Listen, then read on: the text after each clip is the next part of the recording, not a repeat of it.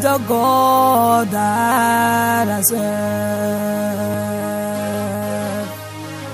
silent every evil author in. Let the God that I know silent every evil author in my life.